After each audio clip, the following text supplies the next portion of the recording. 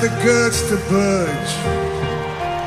This emptiness has already been judged. I wanna go out tonight. I wanna find out what I got.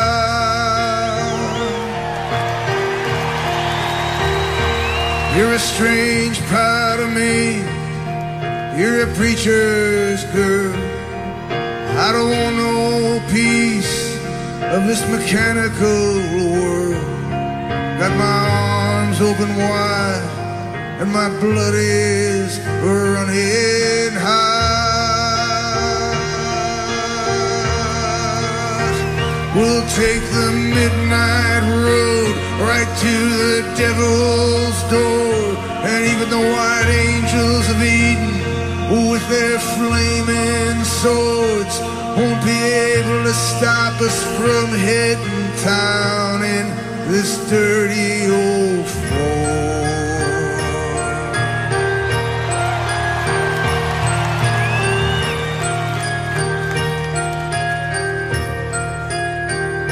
Well, it don't take no nerve when you got nothing to guard.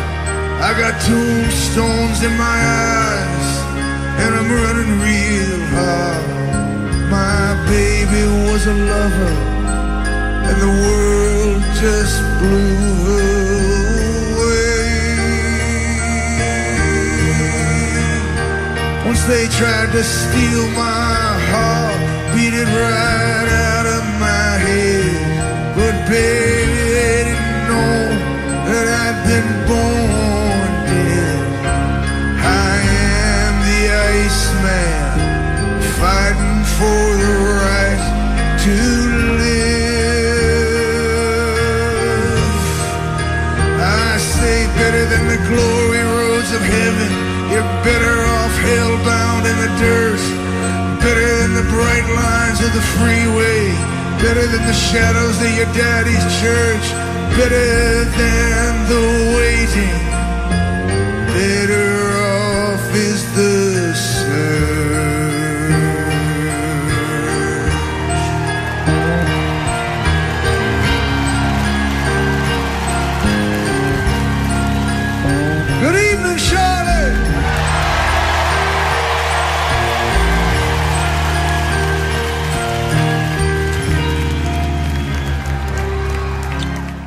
Right, that's how Bruce uh, and band opened up Charlotte uh, the other night on 419 with the Iceman.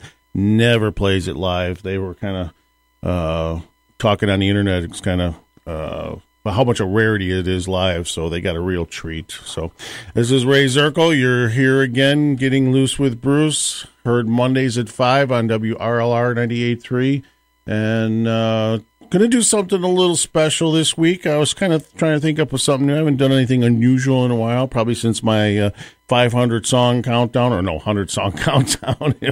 500, I still be going. and uh, of course, I walk in here today, and again, we're back in. It seems like winter time again. It's horrible. It's raw out there. So, uh, but I'm still hopeful.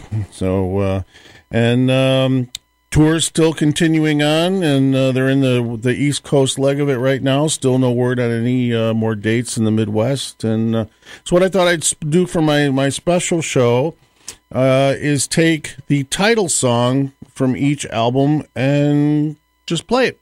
You know, starting now, there's there wasn't a title song for the first album, so uh, we're going to start with E Street Shuffle. Uh, off Wild and Innocent, and uh, go from there. Every album after that, he's got a title track that matches the uh, uh album title. So uh, the first one I'm going to do though is not the studio version. All the rest will be studio versions. I just I, I wanted to play this one because I kind of found it, and he he's got a real um, uh, affection for the Roots guys on from Jimmy Fallon show, and they joined him over in Denmark uh, in July of 2012 at Roskilde. I think that's how it's pronounced there. That's the big music festival over there. I probably just murdered that title of it, but this is uh, the Roots with uh, Springsteen and East Street Shuffle. We got our friends from the Roots gonna sit in with us. The Roots were incredible.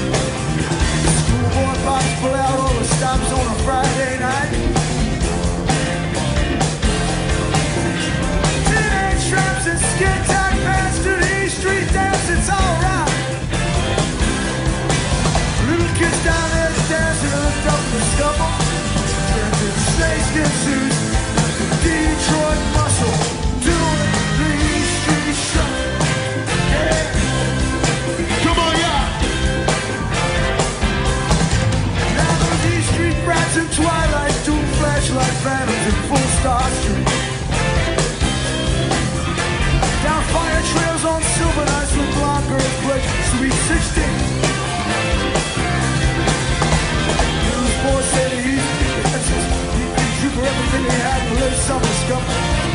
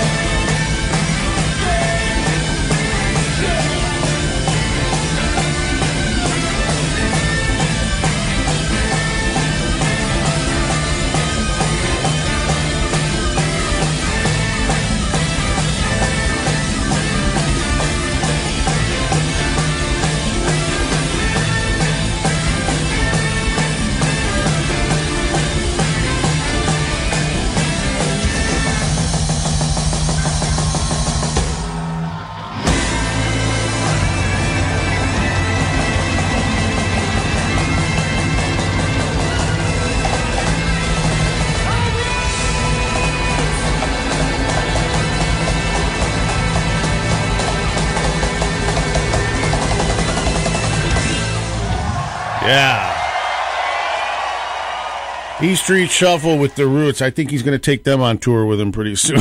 He'll have about 25 people on that stage by the time this tour gets done. That, that would be really interesting to see, but uh, uh, I don't think that's going to happen. But uh, whenever they play that together, like they did on uh, uh, Jimmy Fallon's previous show, uh, just a great version. So that was from July of 2012, E Street Shuffle. So closest thing to a title cut for that album, uh, Wild Innocent, released in September '73. Okay, now on to the big one. Of course, uh, the the the uh, career-changing song took six months to make, and um, it's his song. Here we go, Born to Run.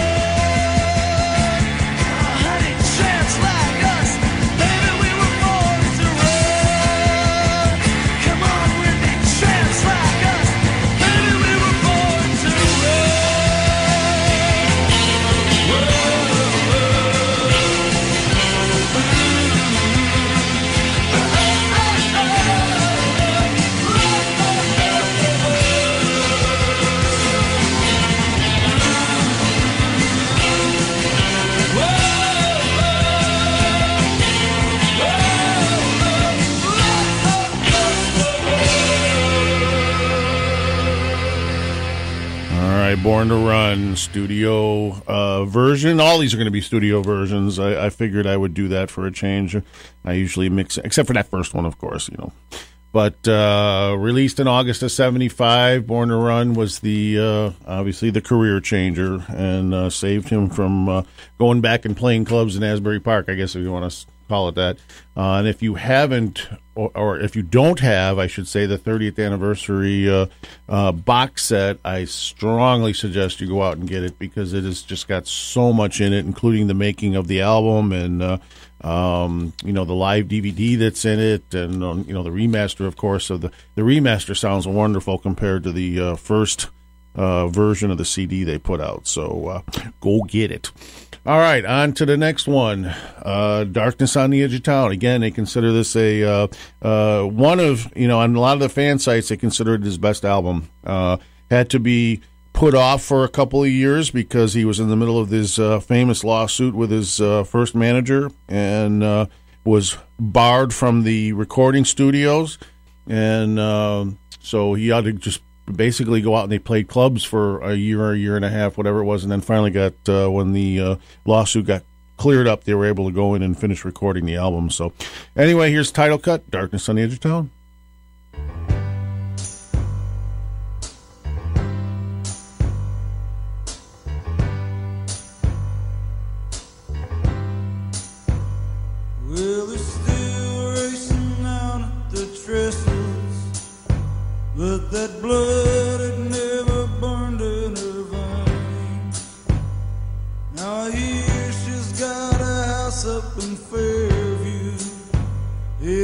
In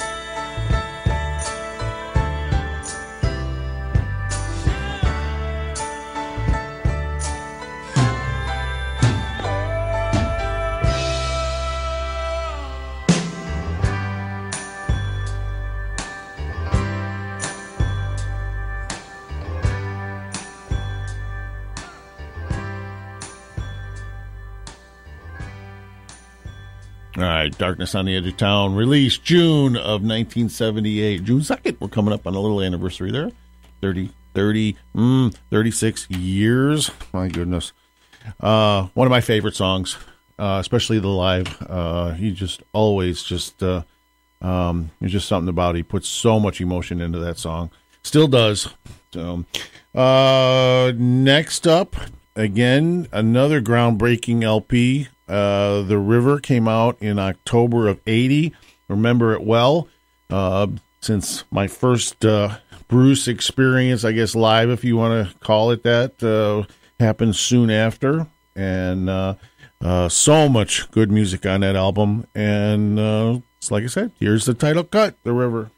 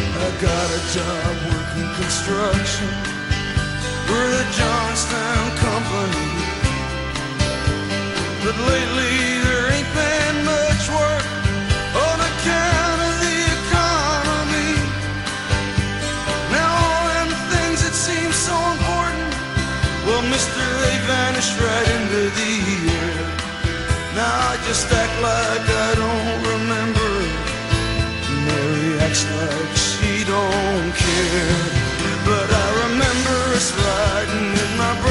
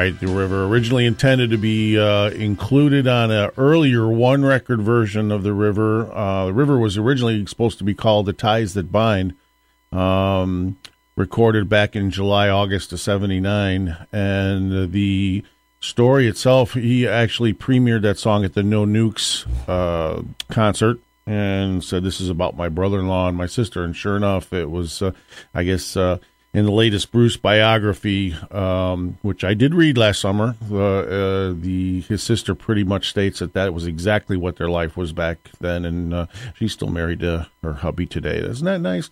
So we're going to go to the spots, and when I come back, um, that was kind of a turning point right there um, in in uh, his career. And uh, this will be phase two now, I like to kind of call it. So uh, when we come back, we'll start it off with Nebraska. You are listening to 98.3 FM, WRLR LP, Round Lake Heights, Illinois. Yes, you are. And we are back doing my. Uh, uh, I almost wanted to say countdown because that's what I did before, but this is. Uh, I wanted to take the title track of each album and play it. That's just something that popped into my head. So, uh, first half of the show, we got all the way through to the river, 1980, and uh, so he goes on a, a year and a half, Bruce and band, year and a half uh, uh, tour behind that album, and um, all of a sudden there's news of a, a release coming out. I was working in record stores at the time, and um, here all of a sudden this album comes in, and I remember it very well. Uh, I plop it on the turntable in the store, and I'm like, "Oh my god!" Because that's kind of that's kind of what the general reaction was out there at first. Because you know people wanted uh, you know Born to Run and River, and uh, all of a sudden here is this dark, dark, deep uh, uh, country slash uh, you know uh, folk record all just him by himself, no band, and everybody was just kind of, oh boy. Uh, it actually now has uh, gained some pretty nice status over the years. Um, basically, it's uh, it's a, a benchmark in his career for some of the things that he would do much later on, and um, it's garnered a lot of, uh, like I said, a lot of uh, greatest albums type of thing of all time. It's it's uh, it's just one of those records. I had to listen to it many, many, many times before I got used to it. So uh, uh, this is the title cut, Nebraska, based on the true story of the uh, uh, the killings back in the fifties of Charles Starkweather and his girlfriend uh, Carol Ann Fugate. So anyway, this is Nebraska.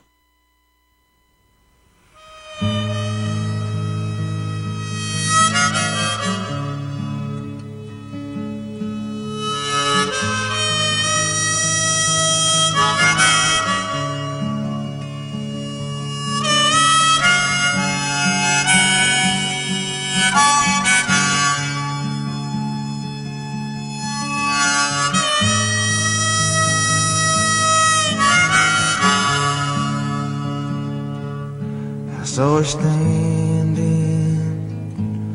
on her front lawn, just a twirling her baton.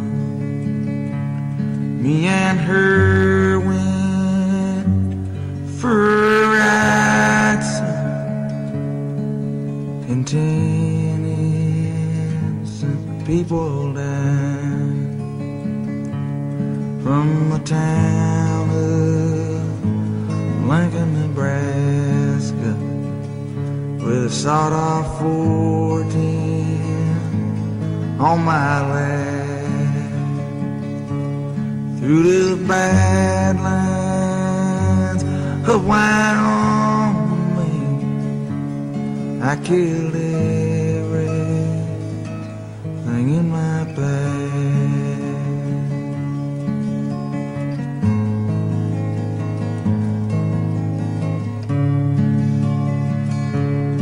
can't see that I'm sorry for the things that we've done. At least for a little while, sir, me and her, we had a son.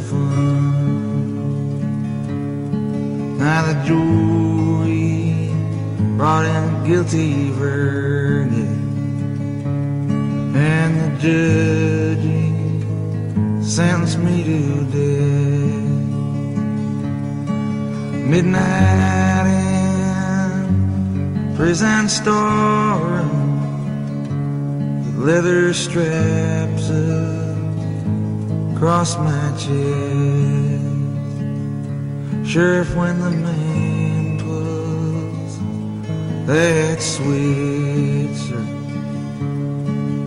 and snaps my poor head back, you make sure my pretty baby sitting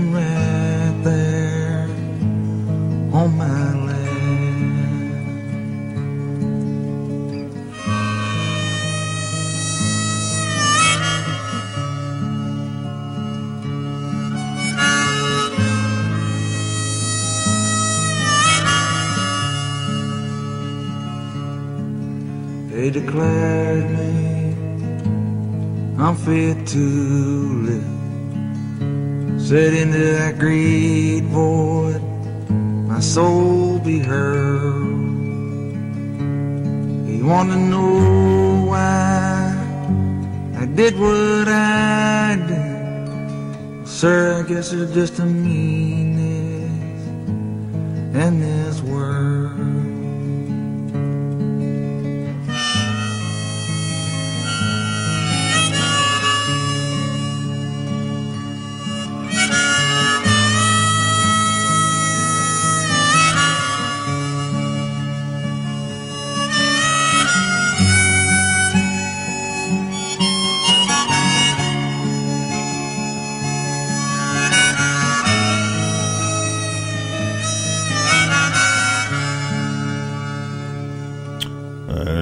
was Nebraska.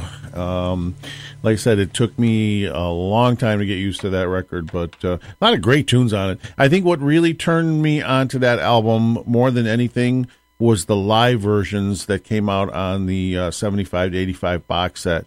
And then I kind of went back and re-listened again, and you know that's that's how you get used to some of the stuff. But anyway, so he takes a few years, literally a few years off. Everyone kept wondering what happened to Bruce. What happened to Bruce? Because that was '82.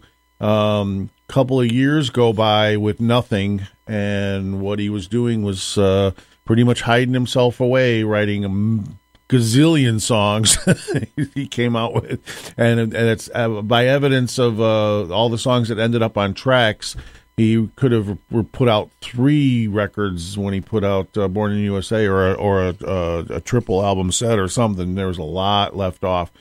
But uh, June of '84, out comes Born in the USA, and pretty much changed his life, changed his career, and uh, became the biggest album that well, um, that year I'm pretty sure it was. There was a lot of competition out in '84, if I remember correctly. You had Thriller out, and you had uh, uh, U2 with their big album out, and um, Madonna was big, and it was all these uh, big, big groups and and artists that were uh, uh, kind of almost all out at the same time. But it went on to sell 15 million in the U.S., 30 million worldwide.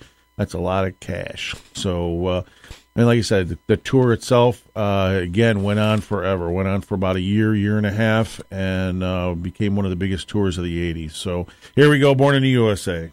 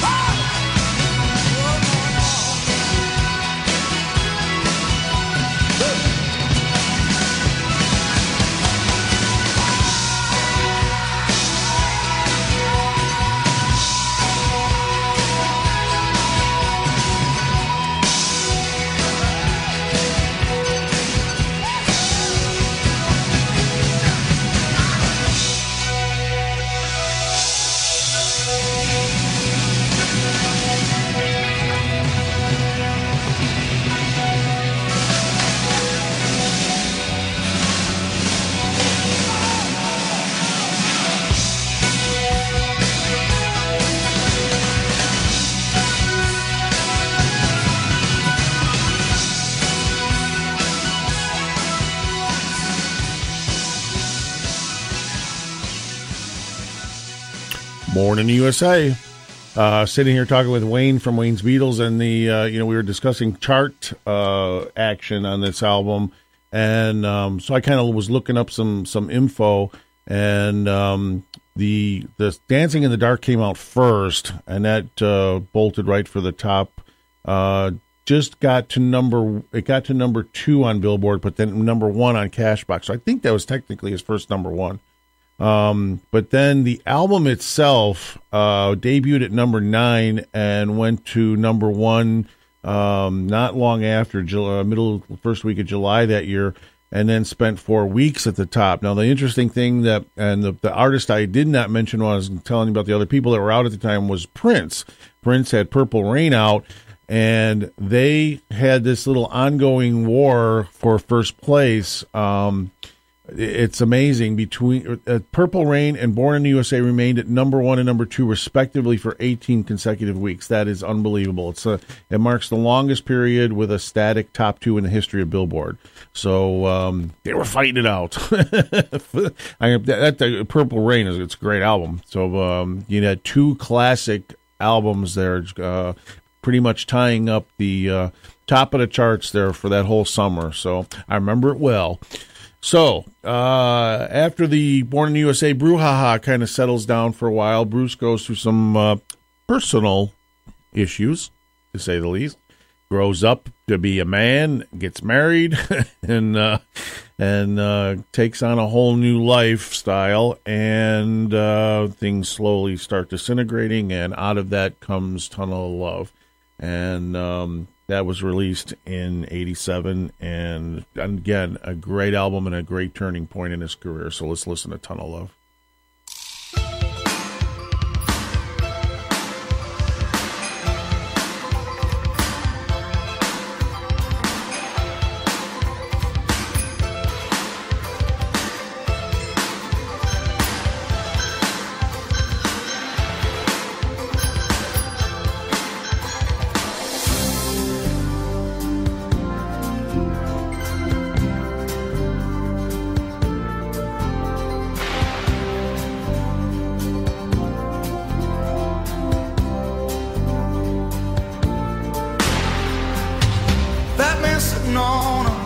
little stool takes money from my hand while his eyes take a walk all over you.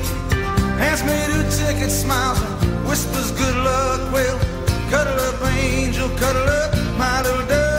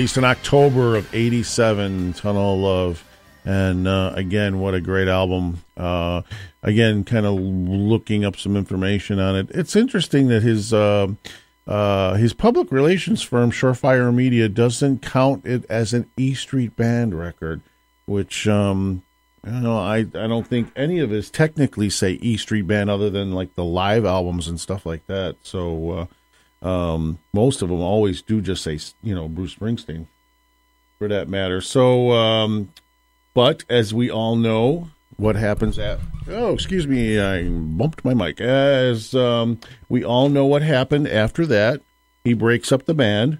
And um, i think this is be an appropriate place. I'll i'll play this song uh, and end out the show now. And then um, it's part one of two as we both know because he comes out here uh, uh, in 19 it took a long break 1992 and comes out with human touch and lucky town both on the same day. So we'll play Human Touch the end this uh, end this week, and then next week we'll uh, start off with uh, Lucky Town. Uh, and so that uh, we'll wrap up my part one here of our album titles show. And uh, again, if you want to hear any of the shows, find the uh, Facebook WRLR 98.3 Getting Loose with Bruce, or go on YouTube, type it in Getting Loose with Bruce. They're all on there, and uh, give it a listen. So uh, I appreciate you guys, and um, you know any comments, shoot me shoot me a message because I think you can right on the Facebook there. So. Uh, so like I said, we'll end this one with uh, Human Touch, and uh, we'll be back next week at 5. This is WRLR. Ray Zirkle here with Getting Loose with Bruce, and we'll talk to you all next week.